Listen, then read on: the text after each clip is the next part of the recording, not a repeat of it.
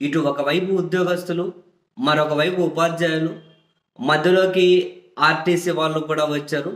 అందరూ కలిపి ఫిబ్రవరి ఆరు అర్ధరాత్రి నుండి సమ్మెలోకి వెళ్తూ ఉన్నాము అని చెప్పి ప్రకటించిన తర్వాత ఆంధ్రప్రదేశ్ రాష్ట్ర వ్యాప్తంగానే కాకుండా పక్కన తెలంగాణలో కూడా దీని మీద భారీ ఎత్తున చర్చ జరుగుతూ ఉంది. అదే సమయంలో కేసీఆర్ గారు చంద్రబాబు గారు జగన్మోహన్ రెడ్డి గారు ముఖ్యమంత్రులుగా వీళ్ళ వీళ్ళ పీరియడ్లో ఎవరి వ్యవహారం ఎలా ఉంది ఎవరు ఎలా హ్యాండిల్ చేశారు అనే చర్చ కూడా బాగా జరుగుతూ ఉంటే ఓవరాల్గా ఈ ఎపిసోడ్లో ఆంధ్రప్రదేశ్లో ఉన్నటువంటి ప్రజలు ఎవరైతే ఉంటారో సామాన్యులు ఎవరైతే ఉంటారో ఆ సామాన్యులు ఈ ఎపిసోడ్ గురించి చర్చించుకుంటూ నిర్వేదంలో నుండి వాళ్ళు బుల్లెట్లలా సంధిస్తున్నటువంటి కొన్ని ప్రశ్నలు వాళ్ళు మాట్లాడుతున్నటువంటి మాటలు కొన్ని కఠినమైన నిజాలను వినేవాళ్ళు ఎవరు మీరు నేనే వినాలి. ఈ మొత్తం ఎపిసోడ్లో సామాన్యుడు మాట్లాడుతున్నటువంటి సామాన్యుడు చర్చిస్తున్నటువంటి కొన్ని కఠినమైన నిజాలు నిర్వేదంలో నుండి వస్తూ ఉన్నాయి. వినేదెవరు? పట్టించుకునేదెవరు? నేను వినాలి మీరు వినాలి. సామాన్యుల మాట ఇది సామాన్యుల వేదన ఇది అని చెప్పి మనం మాట్లాడినా చర్చించుకున్నా కూడా మన మీదనే విరుచుకుపడే కొన్ని శక్తులు. మనం చేయగలిగింది కూడా ఏమీ లేదు. అండ్ మీకైనా వినిపిస్తున్నాయా కొందరికైనా? సామాన్యుల నిర్వేదం నుండి వస్తున్న వాస్తవాలు ఏంటో డైరెక్ట్గానే అడుగుతూ ఉన్నారు. అన్ని ఫెసిలిటీస్ ప్రభుత్వం నుండి పొందుతూనే మీ పనికి మించి మీ స్థాయికి మించి మీకున్న పరిజ్ఞానానికి మించి మీరు చేసే పనికి మించి జీతాలు తీసుకుంటూనే మళ్ళీ ఏదో కొంచెం తక్కువ అవుతుందేమో అని చెప్పి ఏకంగా సమ్మెలకే వెళ్ళడానికి సిద్ధపడుతున్న వీళ్ళను చూసి నిజంగానే సామాన్యులు నిర్వేదం చాలా ఆశ్చర్యపోతూ ఉన్నారు అడుగుతున్నారు కూడా. అరే అరవై నుంచి రిటైర్మెంట్ వయసు అరవై రెండు సంవత్సరాలకు పెంచినప్పుడు ఒక జాబ్ క్యాలెండర్ కోసం ఎదురు చూస్తున్నటువంటి నిరుద్యోగులం మేము రెండు రోజులు రోడ్డు ఎక్కి ఏదో ఆందోళన చేసి ఆపేశాం. మేమే వెళ్ళి బంధువులు ఇంకొకటి ఇంకొకటికి పిలిపించి ఈ కరోనా లాంటి కష్ట సమయం ప్లస్ ఆర్థిక వ్యవస్థ కనుక అంతంత బాగలేని పరిస్థితుల్లో ఎందుకులే అందరినీ ఇబ్బంది పెట్టాలనే ఉద్దేశంతో మేమే ఆగిపోతూ ఉన్నామే. నిరుద్యోగులుగా ఒక నోటిఫికేషన్ పడకపోతాదని చెప్పి ఎప్పటి నుంచో వేచి చూస్తూ ఉన్నాం. ఒకవైపు వయసు అయిపోతుంది. మాలాంటి వాళ్ళ బాధలు పట్టించుకోకుండా సీఎం వాళ్ళకు రెండు సంవత్సరాలు రిటైర్మెంట్ వయసు పెంచినా కూడా మేము చూస్తూ ఉండిపోయామే. సామాన్యుల వాయిస్గా మా మా మా వాదనకు మా వాయిస్కి మా బాధకు విలువే లేకుండా పోయా అని చెప్పి నిరుద్యోగులు బాధపడుతూ ఉన్నారు.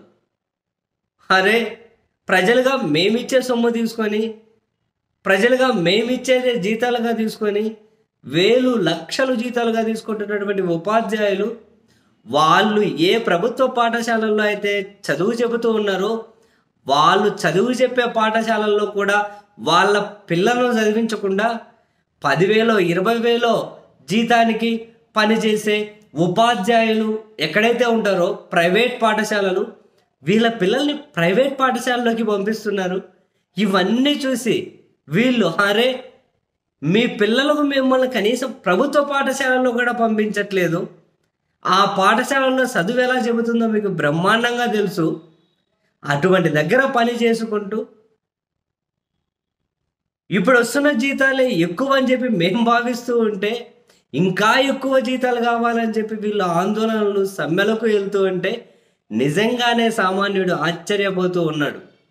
ఏంట్రా ఇది అని. అంతేకాదు అరే ఒక ప్రైవేట్ ఉద్యోగస్తుడు కూడా ఆశ్చర్యపోతున్నాడు మధ్యలో. ఏదైనా ఒక సాఫ్ట్వేర్ కంపెనీలో ఉద్యోగం చేస్తూ ఉంటే వాళ్ళకి ఏదైనా ప్రమే ప్రమోషన్ కావాలన్నా జీతం పెరగాలి అన్నా నిత్యం వాళ్ళు నేర్చుకుంటూనే ఉండాలి. ఏదో ఒక టెక్నాలజీ ఏదో ఒక సబ్జెక్టు ఎప్పటికప్పుడు అప్డేట్ అవుతూ ఉంటేనే వాళ్ళకు ప్రమోషన్ జీతం పెరుగుతుంది కదా. కానీ ఒక టీచర్కో ఒక ప్రభుత్వ ఉద్యోగికో ఏం అప్డేట్ కాకపోయినా ఒక్కసారి జాబ్లో జాయిన్ అయితే రిటైర్ అయ్యేంత వరకు వచ్చి వాళ్ళకు వచ్చినా రాకపోయినా పని చేసినా చేయకపోయినా వాళ్ళ వల్ల ఎవరు ఇబ్బంది పడ్డా ఎవరు ఇబ్బంది పడకపోయినా డిఏలు ఇంక్రిమెంట్లు జీతాలు ప్రమోషన్లు ఏమీ ఆగవు. ఇంత సుఖంగా వండుకుంటూ పని చేసుకుంటూ మళ్ళీ ఏదో తక్కువైందని చెప్పి ఏకంగా సమ్మెకెళ్తున్నారే అని చెప్పి జనాలు ఆశ్చర్యపోతున్నారు.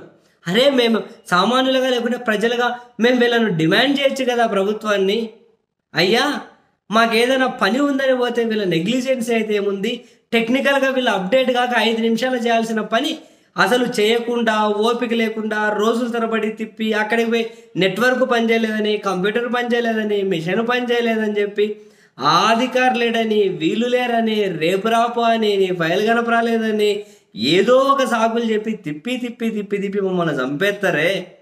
కనీసం మారుతున్న దాని అనుగుణంగా వీళ్ళు అప్డేట్ కూడా అవ్వలేరే?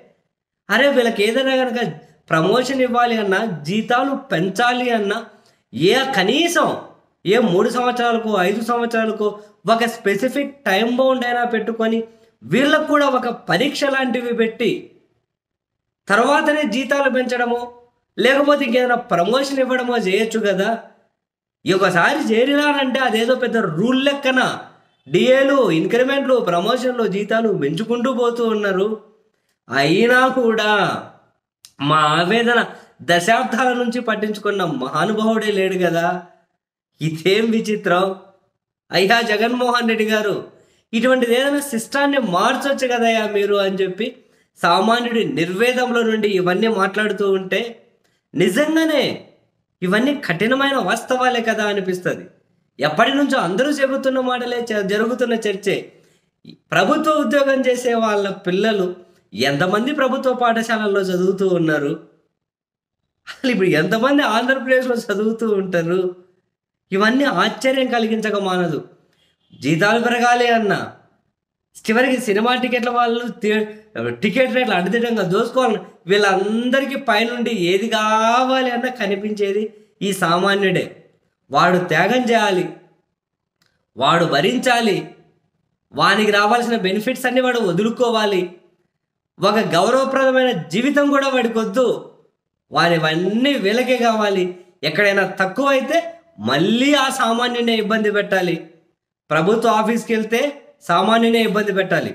సామాన్యుడి పిల్లలు ప్రభుత్వ పాఠశాలలో చదివితే కనీసం బాధ్యతగా కూడా చదువు చెప్పకుండా ఆ టీచర్ పిల్లని కనుక ప్రైవేట్ స్కూళ్ళలో చదివించుకుంటూ వీళ్ళకి ఏందో చెబితే బొమ్మ పోతే బొమ్మ అని చెప్పి వాళ్ళకి ఏందో చెప్పాలి. ఎవడికి కోపం వచ్చినా వాడి మీదనే. చివరికి వాళ్ళకి ఏమైనా ఉడత సాయం చేసే ప్రయత్నాలు ప్రభుత్వాలు చేసినా వాళ్ళకి చేతిరే మాకు ఎందుకు చేయట్లే వాళ్ళకి చేతిరే మాకు ఎందుకు చేయట్లే అని చెప్పి వాళ్ళతో మళ్ళీ కంపారిజన్ పెట్టుకొని వాళ్ళ అను నాశనం చేసే ఇవన్నీ. సో ఇటువంటి ఇటు ఈ వ్యవహారం చుట్టూ ఈ సమ్మె అనే ఈ మాట వినిపిస్తే చాలు. సామాన్యుల వైపు నుండి ఇలాంటి మాటలు ఎన్నో బాణాల్లో దూసుకొని వస్తూ ఉన్నాయి. వినేదెవరు?